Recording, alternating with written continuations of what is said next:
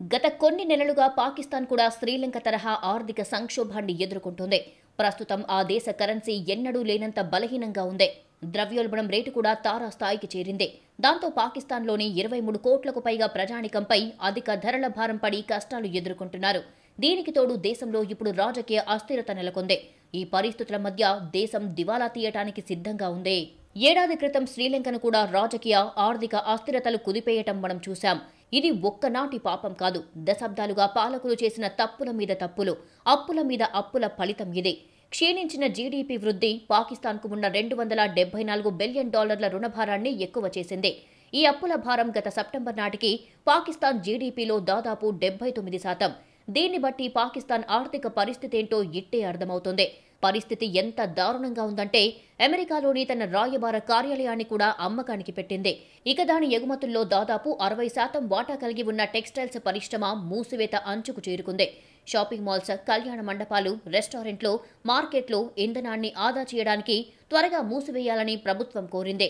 దిగుమతులకు ప్రభుత్వం నిధులు సమకూర్చలేకపోవడంతో ప్రజలకు అవసరమైన ఆహార పదార్థాలు ముడి పదార్థాలు వైద్య పరికరాల కంటైనర్లు కరాచీ నౌకాశ్రయంలో నిలిచిపోయాయి. దిగుమతిదారులకు కొత్త లెటర్స్ ఆఫ్ క్రెడిట్ జారీ చేయడానికి బ్యాంకులు నిరాకరించాయి. కొన్ని నెలల క్రితం శ్రీలంకలో సరిగ్గా ఇలాగే జరిగింది. అప్పటి పరిస్థితులు ఇంకా మనకు గుర్తున్నాయి. ఇప్పుడు పాకిస్తాన్ కూడా సరిగ్గా ఆ స్థితిలోనే ఉంది. జనవరి ఆరు నాటికి ఆ దేశ విదేశీ మారక ద్రవ్య నిల్వలు నాలుగు పాయింట్ మూడు బిలియన్ డాలర్లకు పడిపోయాయి. గతేడాది జూన్లో వచ్చిన భారీ వరదలు దేశ ఆర్థిక పరిస్థితిని తీవ్రంగా దెబ్బతీశాయి. ఈ వరదల వల్ల పాకిస్తాన్ ముప్పై బిలియన్ డాలర్ల మేరకు నష్టపోయింది.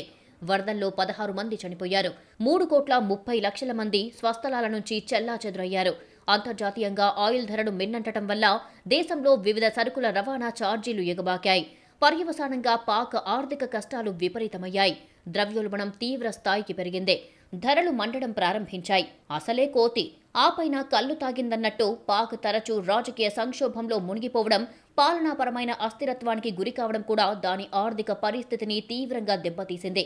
పూర్వ ప్రధాని ఇమ్రాన్ ఖాన్ అమెరికాకు దూరం కావడం చైనాతో మరింతగా పూసుకోవడం ఆయన పదవికి ముప్పు తెచ్చింది.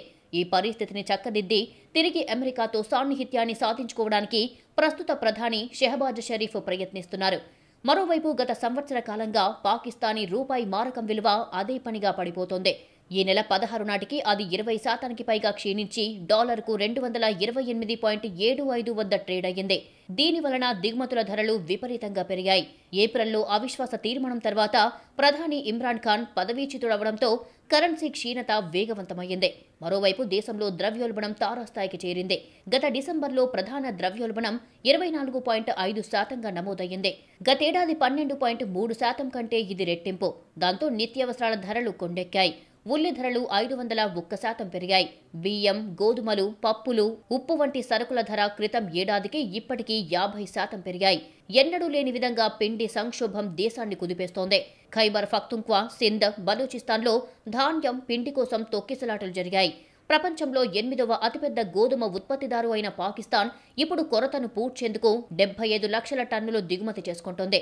ఈ నేపథ్యంలో పాకిస్తాన్ ప్రపంచ దేశాల నుంచి మరింత సాయం కోరుతోంది. వరదల కారణంగా కోల్పోయిన మౌలిక సదుపాయాలను పునర్నిర్మించడానికి వచ్చే మూడేళ్ళలో పదహారు బిలియన్ డాలర్లకు పైగా అవసరమని పాక్ ప్రభుత్వం అంటోంది. ఈ నేపథ్యంలో గత వారం వివిధ దేశాలు కలిసి తొమ్మిది బిలియన్ డాలర్లు సహాయం అందించేందుకు ముందుకొచ్చాయి. యునైటెడ్ అరబ్ ఎమిరేట్స్ పాకిస్తాన్ చెల్లించాల్సిన రెండు బిలియన్ డాలర్లను మాఫీ చేసింది. అంతేగాక మరో బిలియన్ డాలర్లు సాయం చేయడానికి అంగీకరించింది. పాకిస్తాన్ డిఫాల్ట్ బారిన పడకూడదనే ఈ సాయం చేసింది. అయితే ఆ దేశ కష్టాలు తీరటానికి ఇది మాత్రమే సరిపోకపోవచ్చు. ప్రధానమంత్రి షెహబాజ్ షరీఫ్ ఐఎంఎఫ్తో నెలకొన్న ప్రతిష్టంభన తొలగించేందుకు ప్రయత్నిస్తున్నారు. దానిని సంతృప్తి పరిచేందుకే విద్యుత్ వినియోగం నియంత్రణ చర్యలు చేపట్టారని అంటున్నారు. గత డెబ్బై ఐదు సంవత్సరాలలో పాకిస్తాన్ను అది అనేక సార్లు బెయిలౌట్ చేసింది. ఇప్పుడు కూడా పాక్ ఆశ బహుశా అదే కావచ్చు.